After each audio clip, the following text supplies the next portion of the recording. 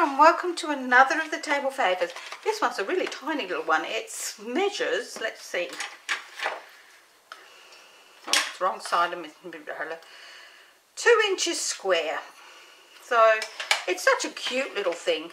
And it it's a hinged box. Look at that. How gorgeous is that? It hinged and it holds two of these chocolate coins. Now these are available every Christmas here in Australia and I remember as a child in the UK they used to come out every Christmas as well. So I'm sure they're available around the world. These are from Woolworths. You get 2, 4, 6, 8, 10, 11, 12, 13, 14, 15 in a, so they must weigh 10 grams each, um, in a packet and they're $2 from Woolies. And I just think they are absolutely gorgeous. That says used by June 30, 2024. So they've got plenty of time on those. And for $2, you can make so many of these little table favours and they're just great. You could just pop them, you could put somebody's name on these rather than Merry Christmas, but I just put Merry Christmas on them. So let me pop out two more of these, wherever the hole is. There you go, two more of those. Let's pop them out the way. These ones have got Australian coin colour um, numbers on them. This says $1, but I mean the $1 coin is not that big. I wish it was. No, I don't. It'd be too hard to get in your purse. So anyway, these are what we're going to be using. This is what they look like, aren't they? So just, just so cute. Um, and they're called hinged boxes. And it's table favour day three. And this is it. Look at this. That's all you need. Plus a piece of scrap for your um, tag there. So what you need is a piece of card that measures 5 by five and a half inches and two pieces of designer series paper that measure 1 and 3 quarter inches by 1 and a, a quarter inches and 1 and 3 quarter inches by one and a half inches. I just made this tiny little bow to go on the front. I did those bows. That one was way too small. It just didn't even turn out looking nice. So, And that's what I needed. And i am using um, glue dots to pop them on. So let's get cracking, shall we? So let's bring in my scoreboard. Oops. Hang on a moment. The scoring tool's fallen out again. Oops. Can't get straight in my chair. Let's bring in my scoreboard Let's move them out of the way. And let's bring this in and we're going to score this on the, pop this here so I can read this. On the long side, which is the five and a half inch side, we're going to score this at a half an inch, two and a half inches, oh that's at two and a half inches, three inches and five inches. We're going to turn it onto the short side and we're going to score this at a half an inch, two and a half inches and four and a half inches. We're then going to turn this back to the short side, uh, the long side, sorry, and then at the one inch mark we're going to score down to the two and a half inch mark, the second score line. And then we're going to do the same the other end at the four and a half inch mark we're going to score down to the two and a half inch score line that we put in or the second score line. And that's all their scoring done. Let's pop my score tool in there make sure it's sticking in there this time. And we'll bring this in. So what we're going to do is we're going to fold and burnish all the score lines except for those last two that we put in. So let's fold and burnish all of those score lines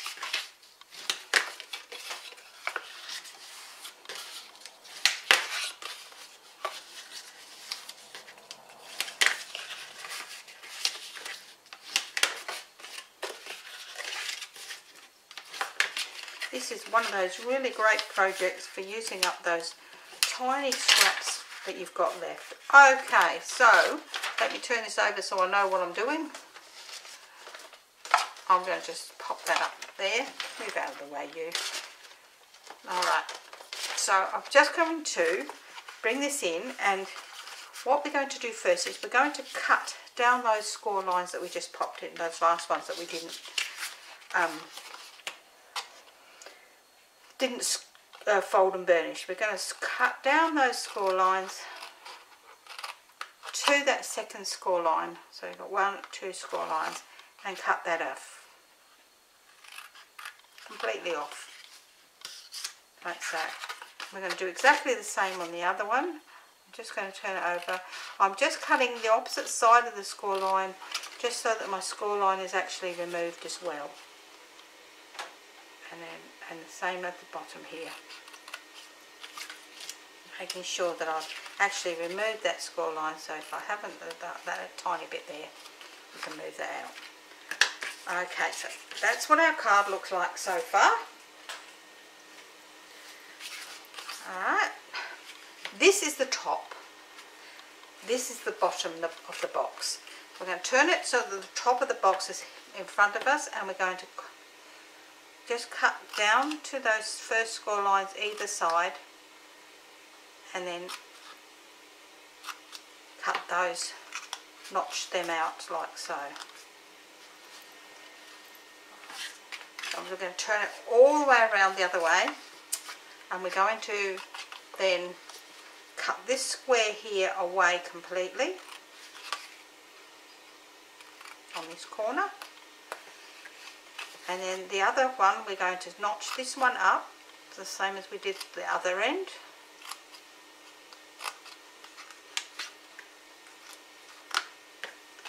and then this one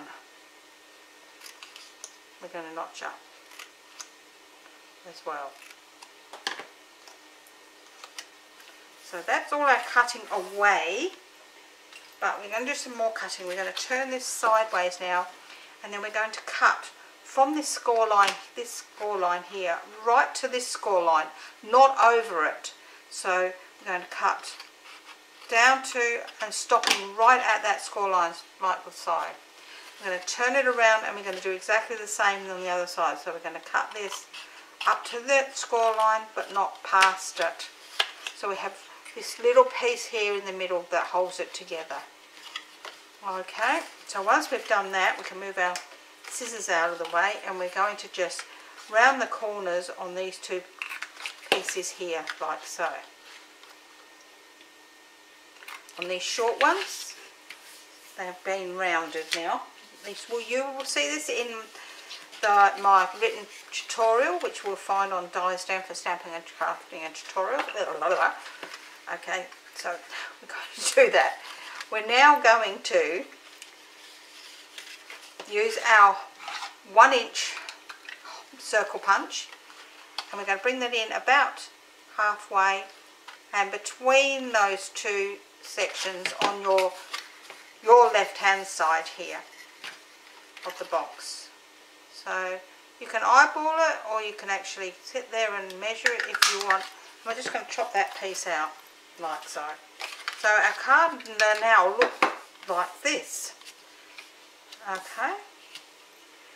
So what we're going to do then, we're going to pop our pieces of designer series paper on. So I'm going to pop this one on here, so I will round this corner here.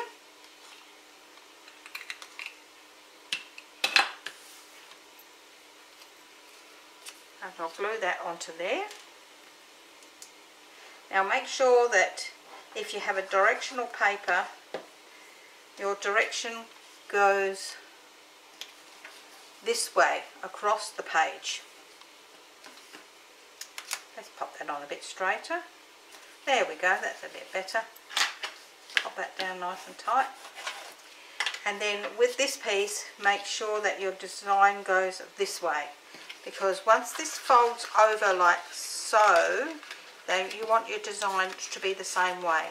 So this one, you're running your, if you've got a design that runs the same way, it needs to be this way. And when you do this piece, it needs to be this way. So I pop our other piece of designer series paper on. Like so. Okay. And that's our pieces of designer series paper done. So now we're going to do is we're going to make our box. Now we want this front flap to fold back. and this front flap here to fold back. So that's why we have put only, we've taken one of these notches out because if we don't, this is too bulky. So what we're going to do first is we're going to pop a bit of glue onto our tab in the middle at the top. I'm going to bring that back, which is the part without the designer of paper on it, over and line it up. Line it up nice and neatly so it's square on that top bit there. If you find that you need to trim your tab underneath, this is the time to do it. Once you've done that, we're then going to pop some glue along this front tab piece. And we're going to bring that across and fold it over. That way the join is at the back of the box.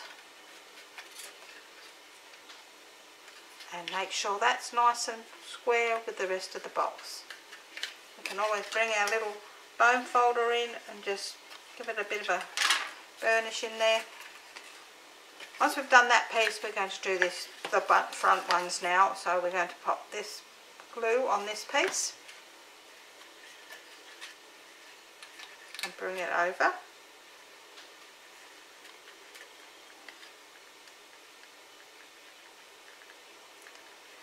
and making sure that's nice and square there and we're going to do the same with this one. We're going to put some glue on this one. And we're going to bring that one over onto the back one. Like so. Now because we want these two pieces to slide inside that one, we don't, so if we had that other thing there, it would have been too bulky here. So then we can pop glue on the bottom and the side piece. And just carefully slide that inside the box like so, bringing that around so that it matches up nicely on that edge and along the bottom edge like so. We can just lay that down like that, just pop our bone folder in just to make sure that they're down nice and tight. Oops. Oh, that was a bit squeaky, wasn't it? Once they're down nice and tight, we know that that box is going to then fold over like so. It will need a little bit of easing over the first time because it's going to be tight just around here. But it's not that tight that you can't do it. Okay, once we've done that, we're then just going to bring in a piece of, I've got another piece of this card, and I've got my double oval punch and I'm just going to punch out and I don't really want both of them so I'm actually going to cut a piece of this off.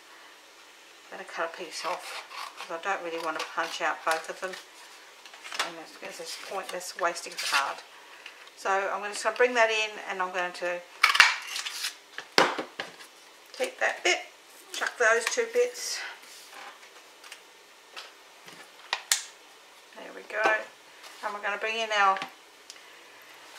Merry Christmas, which I've got from the Christmas Scottie, and it's just Merry Christmas just there like so. So let's pop that over there, and I'm just going to do it in Memento.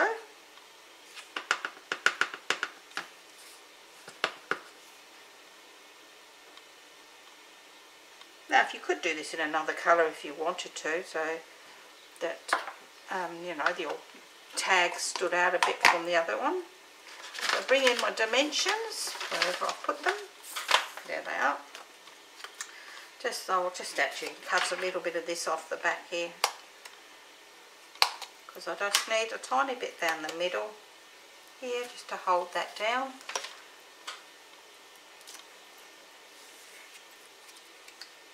Hear that noise in the background? That's my husband. He's actually making me a new light box. Okay, so I'm going to put on some glue dots. So I've got a couple of glue dots here. I'm not putting any um, bling on it, you know, any, uh, because these are just too tiny. Oops, that stuck to my finger. There we go. just two glue dots like so one very close to the other my little bow over the top like that. Look at that. How cute does that look? The Merry Christmas hidden behind there. And then I can then put in my two chocolates. And it holds two just beautifully. And that is our project. What do you think? What a great little idea. And very little stuff to use. Let me pop the pin in my glue now if you would like the written tutorial for this table favour this is day four. No day three table favour and it will be on my website. Uh, not my website on my Facebook group. I guess it is a website in a way not mine though. On my Facebook group called Di's Den for Stamping, Crafting and Tutorials. There you'll find the written tutorial for this um, that goes live exactly the same day as the YouTube video. If you like, if, if you enjoyed this, please give me a thumbs up, leave me a comment. If you don't want to miss any of my other projects, please subscribe and hit the bell button so that you don't miss any other projects and I will see you again next time. Bye for now.